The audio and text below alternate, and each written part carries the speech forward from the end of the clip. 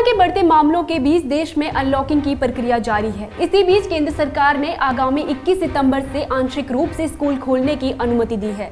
सरकार के आदेश के मुताबिक स्वैच्छिक आधार पर कक्षा 9 से लेकर 12वीं तक के छात्रों के लिए ही स्कूल खोल दिए जाएँगे। वहीं स्वास्थ्य मंत्रालय की गाइडलाइन में कई हिदायतें भी दी गई है।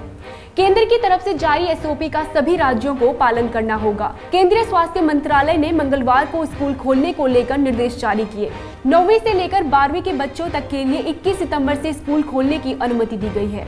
स्वास्थ्य मंत्री हर्षवर्धन ने कहा कि स्कूलों को लेकर चरणबद्ध तरीके से स्कूल खोल दिए जाएँगे।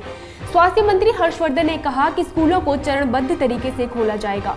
स्कूल आने वाले सभी छात्रों और टीचर्स को अपने स्वास्थ्य पर लगातार निगरानी रखनी होगी। वहीं इधर उधर थूकने पर भी पाबंदी होगी। स्कूलों में राज्य हेल्पलाइन नंबर के साथ ही स्थानीय स्वास्थ्य अधिकारियों के फ़ोन नंबर भी प्रदर्शित किए जाएँगे। छात्र छात्राओं को स्वेच्छा से स्कूल आने की आज़ादी होगी। किसी भी छात्र पर स्कूल आने के लिए दबाव नहीं बनाया जाएगा। साथ ही बच्चे अपने माता पिता की लिखित अनुमति लेकर ही स्कूल आएँगे।